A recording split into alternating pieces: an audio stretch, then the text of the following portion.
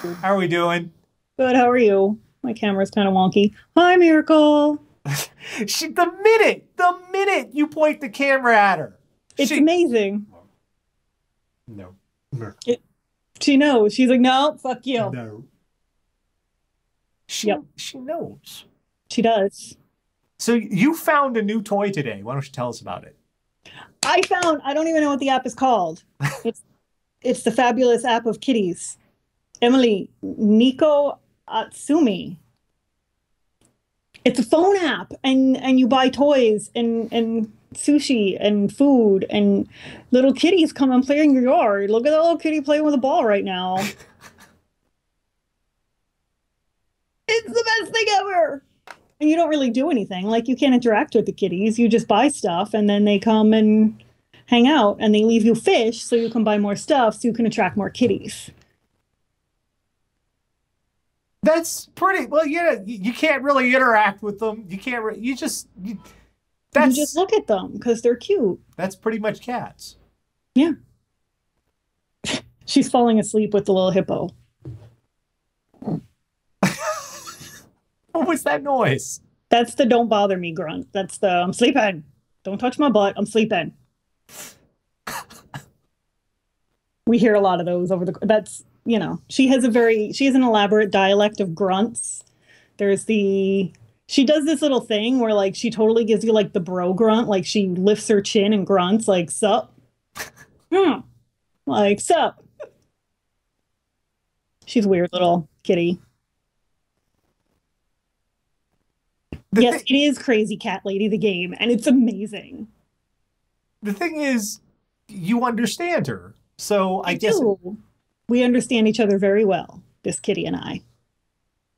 you're very well trained. I am exceptionally well trained. In fact, I had to call Miracle eats prescription food because she's allergic to everything. So I had to call the vet today to order more of her food. And like an idiot, I did that while she was watching. So I had to pick up the bag. And if you touch the bag, you have to feed her. Now, here's cool. the thing about this cat. Cool. she always has food in her bowl always like it never runs out. Her bowl is never empty but she really really enjoys the ritual of being fed. So which involves like because she buys she eats $80 a bag prescription food we recycle it. So any food that hasn't been eaten we pour back into the bag shake up the bag and just scoop more out. She loves this ritual either that or she's convinced that once the food has been exposed to air for more than 10 minutes it becomes poison. Because if you so much as walk by the bowl food time? She's like the seagulls in finding nemo. So i made the mistake of picking up the bag in front of her and all of a sudden i'm on the phone with the vet and she's so i'm like yeah that's that's her. I promise i'm not kicking her. I just i touched the bag and now she's losing her mind. So she got extra food time today, which isn't really extra food time because she always has food. Just she really likes making us do stuff for her. She's a cat. Yeah. That's all I had to say. She's a cat. Everybody's like, and I am exceptionally well trained, so I pretty much do whatever she wants. well, it is again that time. That that this time of year again. It is. Look at them. It is the Black Friday recap. Yes. Except Miracle did not get any turkey because she can't eat turkey. she's She can only eat duck. That's the only protein she can eat. So, except this year there was a little bit of a hitch. Black Friday sales Started on Thursday. and we're way down. Well, there were a few reasons for that. Hmm. one, they started on Thursday and people were not liking that. Two, Black Lives Matter had a Black Friday blackout, what they called it. And they, as a movement, boycotted Black Friday, and it made a huge difference. In fact, in Detroit, they held such a large protest that a lot of the major shops down, I think, Michigan Avenue in Detroit had to close because shoppers couldn't get in. So for everybody that says Black Lives Matter doesn't know what the fuck they're doing, they know what they're doing, and they hit them where it hurts. But regardless of that, it is also part of a larger trend of the online sales skyrocketing this year in comparison. Yeah. In I did my Black Friday shopping online. in fact, it was so big that Walmart's website started crashing. Target's crashed today. Target's website. So everyone moved online. So we could potentially be seeing the end of the whole Black Friday nonsense. Wouldn't that be nice? And stores did not profit from opening on Thanksgiving. So hopefully that trend is short lived. However, of course, just because there were less, Doesn't mean there were none. each week, Catherine, the Radio Dead Air audience, go out in the worldwide interwebs, find all sorts of horrible stuff, bring it back here from the seven we like to call What the Fuck is Wrong with You? Now, not only did things, not only was there less of the whole Black Friday shenanigans, people were, at, this has now become the new thing, it would appear. Let's, let's look at this article our first article tonight that uh little suspicious for everybody involved black friday shopper rich, re, rips vegetable steamer from kids hands. Skeptics say brawl is too appalling to be true. Now what this looked like initially and i'll go ahead and show people here this this little this little fight that happened. Oh, I saw this video. this this little fight that happened apparently where you know she supposedly lady supposedly steals stuff from the other people online folks looked at it and they're slowing it down here a little bit so you have a look they say it appears staged because number one that kid she took the steamer from didn't actually get it from the pile they already had it in his hand or his or her hand. I can't tell if it's a little girl or not. Before the whole thing started. So what we have now is the act of getting attention and trying to make viral videos. They're trying to fake Black Friday brawls. I'm telling you, we are so not far from the Hunger Games. Is this, what the hell is going on? Because I mean, let's let's be honest. Americans not fighting over a veggie steamer. If that was a TV or an Xbox, I might have believed you. But Yeah. a veggie steamer, mm, no, Yeah. no. Yeah. You couldn't give those things away on Black Friday to fucking Americans. No. Be like, hey, we'll give you this for free. No. And People- I'm one of them. I would walk past it. Poor Dan is trying to trick me into eating vegetables any fucking way he can. If they were like free vegetable steamer, I'd be like, fuck yourself, where are the french fries? I'm part of the problem. I know it. This. What is. We're trying to stage a Black Friday brawl Yeah. and doing it so badly, the internet looked at that and gone, no, that ain't real. Why do you say that? Because we seen the real fucking thing. Yeah. And it don't look like that. Kitty, I'm only able to get your butt in the shot. You need you need to be a little accommodating. no. No, I don't. Fuck you. The most unphotogenic cat. She's very photogenic. She's very cute. She just is grumpy and cooperative. Now she's gonna lick her butt. Excuse me. Hi. Just just be cute for the camera for a little while. No. They get my butt. Fuck them. They get she the butt. knows exactly the way to turn to avoid the camera. Yep. And now you're gonna lick your butt for everybody? Okay. All right. Well, I tried. Just sit there and look like Smaug. But just because the whole this one was staged doesn't mean there weren't some real incidents. However, again, these were weird because they didn't appear to be any over any particular product. They just seemed to happen. First one comes to us from uh, some melees in Walmart of course. Brawls broke out at Walmart retail stores in Kentucky, Texas, and Louisiana. Tempers flared among shoppers at law as law enforcement agencies struggled to keep control. At a Louisville mall on Thanksgiving night, shoppers wrestled each other to the ground in a packed food court. Fracas knocked the woman to the floor. Shoppers at the mall St. Matthews gawked at the sight of two unidentified men slapping, punching, and tearing at each other's shirts. Police broke up the fight, as shown in the video, capturing at least 30 seconds of the melee. Then, um, in addition, a fight video circulated on social media early Friday morning showing a scuffle between a group of men at a mall in Florence, Kentucky. Uh, what else do we have here? Um, let's see. Big crowds have drawn scrutiny for unruly behavior, especially since the 2008 trampling death of a Walmart worker in Long Island. However, what's happening here is these aren't over products. These are straight up fights for fight's sake, is what it seems to be going on here. The pro- well, the thing is, you put enough people, you cram them into a crowded place. I mean, this is designed to bring out the worst in people. And I, I'm pretty sure I say this every year. It, it continues to be ironic to me that we spend a whole day devoting ourselves to being thankful for what we have. And then the very next day or that same night, we go out and beat the shit out of each other to get more. There's an irony in that.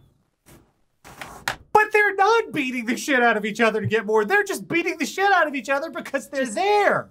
Just cuz, yeah. Because I remember but it gets like I don't know. I don't know if you've worked retail during the holiday season. People get fucking ugly. It's just, it's a petri dish of the worst of humanity. You're in a crowded place. It's hot. Nobody's moving. You're trying to get shit done and you can't. Your kids are screaming. It's just, it's a powder keg. But we have, we've in years past, people have had like, I remember the pepper spray incident the mm-hmm. pepper sprayed shit just so they could get, you know, what was it, fucking television or something? I don't even fucking remember. The mall I used to work in, the year after I stopped working there, I went in on Black Friday at like eight o'clock at night because Black Friday's over by the afternoon. So you go in at eight o'clock at night. If you're not looking for any of the big deals, you can get shit. So I went in looking for Christmas decorations at Sears. And the guy told me, he's like, yeah, we just came off lockdown because a bunch of kids got in a brawl up at the food court and somebody yelled gun and they put the whole mall on lockdown for like two hours. We were just allowed to open back up half an hour ago. And this poor guy was fucked because the entire Sears tool department decided to fuck off and go home and didn't come back. And so there were people that were yelling at him about circular saws and shit. And he's like, dude, I work in bedding. I, I don't know what to tell you. Now, we've got a lot of people saying, oh, you silly Americans with your American Black Friday, doing that American shit. Yeah, guess what? We're exporting that shit. It's your problem now, too. We've exported it. Manchester. Vicious fight involving three screaming women break out at a shopping center during Black Friday sales in Manchester. I've been to that mall. I've been that mall. And Black Friday has even they, they don't do Thanksgiving, so they don't even know what Black Friday is. They're just they're, they're just copying us. It's like the definition of a cargo cult. Three women were caught in a vicious fight in the middle of Manchester's Arndale Shopping Centre during the Black Friday sales. Police were called in an attempt to break up the brawl, which erupted around 7 p.m. on Friday evening. Dramatic footage shows the women screaming and grabbing hold of each other as dozens of stunned shoppers look on. They continue grappling as two of them fall to the floor in a flurry of punches close to the Foot Asylum store. Foot Asylum? Foot Asylum, I guess. What What is that? I don't know. I, I guess that's sort of like Payless, but with wordier words. Foot Asylum. Is that where you shop for shoes if you have restless leg syndrome? And again, in this, no specific item was being fought over. They were just fighting. It doesn't matter. It's like a fucking zombie movie. Like, it's just angry, shambling hordes. I think we've reached this point where Black Friday. Remember the Crow and Devil's Night? Yeah. I think Black Friday has is starting to evolve from a sales event to this weird anarchy. It's not so much Devil's Night as it is the Purge. Yeah. Yeah, I think we're, we're just sort of. Ev- people aren't even going shopping anymore. They're just going out to kick each other's asses. Yeah. Everyone who actually wanted to buy shit went online. Everybody else went out to Fight Club. And you know what? Fine. Let's do it that way from now on. Except don't make the retail make workers work. Just have Thunderdome somewhere else. Let the mall employees stay home and everybody shop online. How- But, but as I say that, some people actually did do some shopping on Black Friday. And this, hey, this is from Clifton, New Jersey, so you know it's it's close to your neck of the woods. Yeah. These two, well, they participated in commerce. You gotta, you know, you've got to give these guys some credit for an original thought on this one. Thursday night, Thanksgiving night, burglars nabbed after Black Friday shopping spree. Two men who ransacked a home on Thanksgiving night were apprehended hours later as they went on a Black Friday shopping spree. Victor Serpa and Sean Smith, both 22 year old Paterson residents, were charged with burglary and theft in Clifton and fraudulent use of a credit card.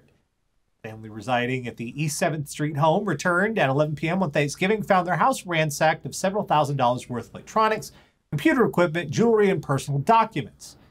Uh, while officers patrol division investigated the burglary, Serpa and Smith allegedly used credit cards stolen from the family to go on a shopping spree throughout northern New Jersey. The duo allegedly spent thousands at stores such as Target and Walmart. Dude, if you're gonna if you're if you're shopping on someone else's credit card, aim a little higher. It's still it's not your money. Live crazy, go to the gap. Can you sit there, see? Can you just imagine them sitting there going, Yeah, I know, I know, but I know we stole this, but it is too good of a deal to pass up. It's not your money. It's not your money. Why? Why do you care if you're saving? Why do you? exactly? You're saving someone else's money that you stole anyway. Just go for the fucking gold. Well, go for the gold literally and wipe out the Zales. What are you doing at Walmart on a stolen credit card? well, they had the Xbox bundle with with you know Uncharted. They had the Xbox Uncharted bundle, and it was too good to pass up. It doesn't matter. It's not your money. It's not your money. Go somewhere where there's not going to be a line because they're too expensive. It doesn't matter. It's not your money. Can you just imagine the, the, the I can imagine some some uh, store using this for an advertising. The sales are so good, even the thieves can't pass them up. Yeah. Even the identity thieves that have your PIN number can't resist these bargains. I mean, what the fuck? The luxury places ask questions, Walmart don't give a shit. Actually, not true. I worked at a luxury retailer and they don't ask questions because God forbid they offend a customer. Because rich people give their daughters their credit card, give their wives their credit card, Yeah. give their you know, trophy husband their credit card, give the fucking nanny their credit card. You don't dare question them because they're wealthy and entitled. So actually, the luxury places ask less questions unless you look like you don't belong there. I don't think these guys would look like they belong there. I mean, one of them looks like his hair is, is trying to escape. It's a little Redfoo from that's that guy, right? LMFAO. Yeah, it, it looks like his hair is, is trying to, to get away. Hey, I've had that hair day. I'm not going to judge. But I mean, oh, oh mother. There's a happy ending. They were able to recover all the stolen items as well as the items purchased. So, Also, here's the other trick. Don't go on Thanksgiving and, and rob the house. Go on the Saturday after Thanksgiving because they've done their Black Friday shopping. And you can cut out the middleman and just steal all the shit they've already bought. Tara, you're helping way too much here.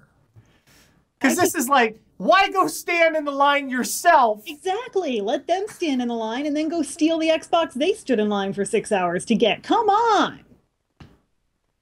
Let Not someone science. let someone else camp out in the Best Buy parking lot.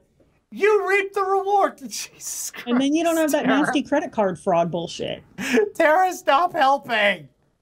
I'm just saying. No, you aren't. Stop helping. Uh, but of course, we do have some more of our normal shenanigans this week because you know the crazy shit didn't stop just because of Black No. Friday. Oh my God, we we keep having these airline passengers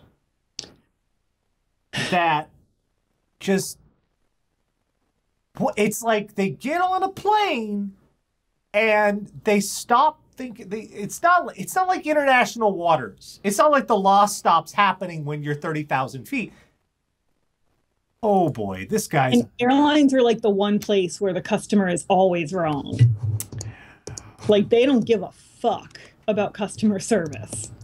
worst ever air rage passenger jailed for drunken rampage Yasmir Sain Baraj 46 was found guilty of drunkenness on aircraft, crimi- aircraft criminal damage, racially aggravated words, and behavior and common assault. What does that mean? Him an asshole.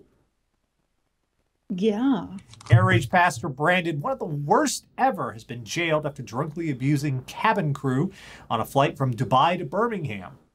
Uh, Baraj, 46, was labeled by a flight attendant as the worst passenger he'd ever encountered after he went on a rampage, which which included, and they have bullet points in the article for this. There are bullet points on this shit. Threatening to punch a stewardess and biting a police officer, causing 2,500 pounds of damage to the in flight entertainment system, swearing and embarking on a series of racist rants, dipping his finger in wine, and rubbing it onto his private parts. Okay. How do you do that much damage to the in flight entertainment system? And why are you rubbing wine on your dick? Those are my two questions. I mean, racism is pretty rote. Violence on the airline uh, doesn't really excite me anymore. How do you manage to do that much damage to the in flight entertainment system? And why are you rubbing wine on your dick? You know, when I first embarked into adulthood, there were many questions I knew I would have to ask over the years. How many roads must a man walk down? Never did I ever think that I would have to ask to ask the question, why are you rubbing wine on your dick? Like, is that an? I know the Altoid trick. Is that a new thing? Am I not hip to the new weird sex stuff? Is is there a thing? And as for the as for the damage to the in-flight entertainment system, I'm trying to read here in the article. Um, threatened to punch an air hostage and damage the entertainment console.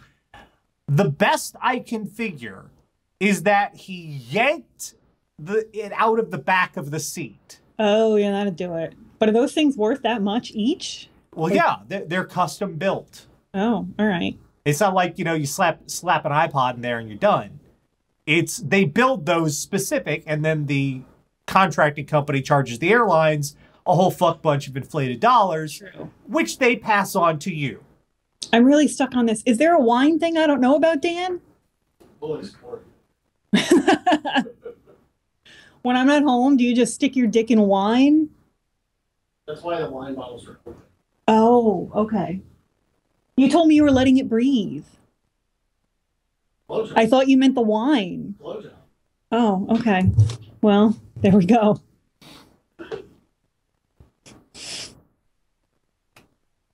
I don't know if anyone heard his side of the conversation. That might not be Oh, as we funny did. as what's here. We okay. did. Okay. We did. Nash is very upset with us.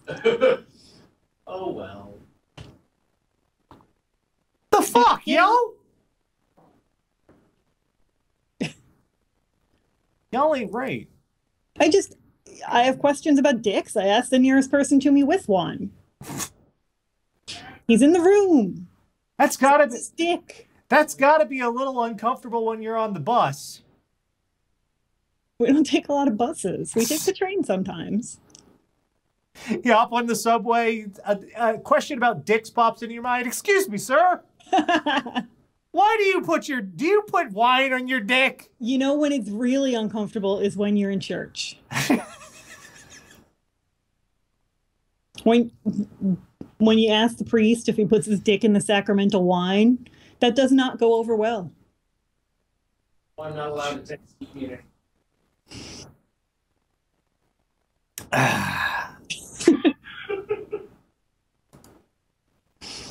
Well, finally tonight, it is time to talk about the, the, the reason for the season, the true meaning of the holidays, and that that is being is giving and and and donating things to your fellow man. That's a big part of this holiday season, and you know that that is a good impulse. However, you may want to consider not you should not exactly give everything to your fellow man Oh no.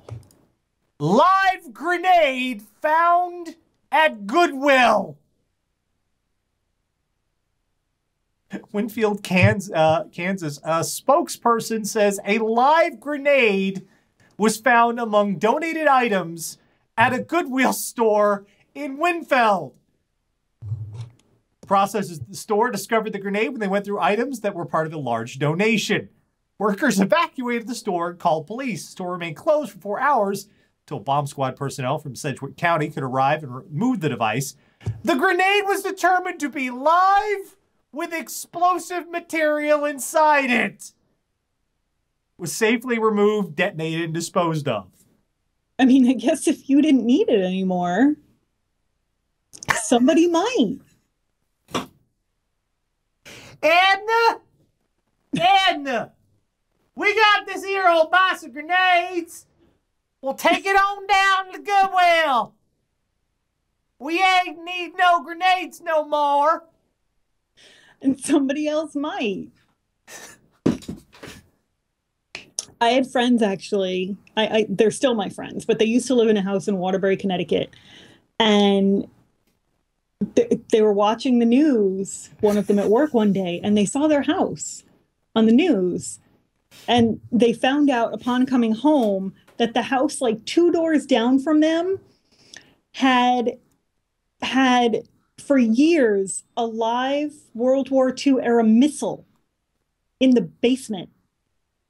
And like three different tenants had come and gone in the time this thing was there, and just nobody addressed it. And finally, somebody was like, We should probably call somebody. Thing in the basement. It's a live fucking missile. They had to evacuate the whole neighborhood. Fucking bomb squads in there, FBI Oh. just nobody bothered to do anything about that. Just I don't know what that thing is. It's like the guy in fucking Hot Fuzz. Ah, it's just a pile of junk. Hey, It's invisible. Yes, it's just a bunch of junk. Yeah. It's- somebody in somebody in the channel was talking about it. You know, grenade at Goodwill. Shit, it was ninety nine cents. yeah. Uh, The how? little, the little grenadier boy was like, I have no other gift but this. And Joseph and Mary were like, No, we're good. how does that happen? It was probably in the bottom of some fucking box, and they just brought the whole box down. and didn't look in it very carefully. How do you just like casually drop, you know, uh, a grenade in with your knickknacks and your bric-a-brac? I don't I don't know how that happens. I don't know how that winds up in your paperback book box, but yeah, so you know, people are disorganized. You should see my fucking desk. This it's, it's a grenade, Tara. You don't have any grenades in the house, do you? God, he had to think about that. He does. It's the, it's not a letter If I'm not opener. on the air next week, it's because Dan blew me the fuck up. It's not a letter opener. It's not a snow globe. It's a grenade. I wait. uh, man, okay. My dad passed away. We had to go through all of his stuff. And I was very aware that he had guns in the house. And, you know, very carefully itemized, was aware of where the fuck, because boom, it's gun. See, we didn't have that with my parents. We found many, many stashes of cash. My parents both, like, we had to, every jacket, we had to go through the pockets, every drawer we had to go through because both of them just compulsively, sta like $20 here, $50 there. Like, their rainy day fund was all over the house so that if anyone ever robbed the house, they would never get it all. So, like, you could leave no stone unturned because there was just fucking cash everywhere. Even that is more sensible than just misplacing just grenades. a fucking explosive. Well, I mean, I guess if you have grenades stashed all over the house, if anybody robs the house, they're in for a surprise. But then so are you if you're home. Bang! We got a robber! We got one! you know, We it's got cheaper than. ADT. That's the redneck alarm system. It's just live grenades in every fucking room. Disciple of a Smiling God says, best Easter egg hunt ever. Oh, no, no, no. Worst Easter egg hunt ever. I guess the first thing we learned this week is if you're going to donate stuff to Goodwill, maybe organize it a bit before you just drop off a box. Keep a running inventory of your deadly weapons, I'd say is also a good thing to know. Yeah, Any explosives you have in the home, know where they are. yeah. Probably shouldn't have explosives in the home to begin with. I mean, ideally, sure. But if for some reason you do, just know where they are.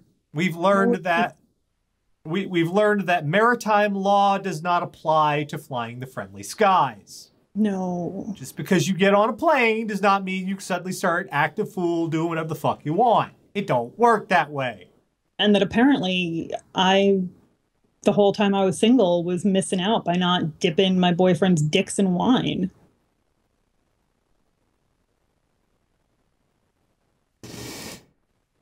We've learned that if if you're shopping with a stolen credit card, Aim high. the deals are not They don't matter. You don't need to look for you don't need to go you don't need to have the coupon flyer with you. No, I mean that's considerate of you, I guess, but you still stole their credit card, so it doesn't really matter. We've learned that Black Friday has evolved from a battle for deals to just The a battle. battle. It's- It's it's now it, our new pastime. Instead of going out and fighting one another for television sets, we're just going out the day after Thanksgiving and fighting one another. Out of each other.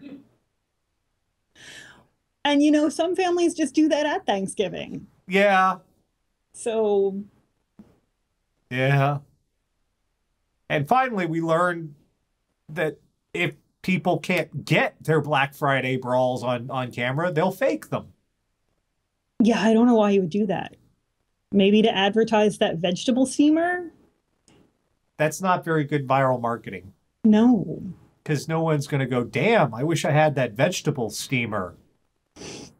That's a sentence that's never been said. Never been said before. No, no one has ever gone, I really want that vegetable steamer. No one has ever said that. We're the first. I think we're the 1st We're the first humans in history to speak that Say. sentence. Yes. Come here. Oh, what? What do you want? Why do you disturb my slumber? Say hi. So I'm, I'm thankful for humans that do whatever the fuck I want, Except right now, apparently. Except for waking me up all the time when I'm sleeping.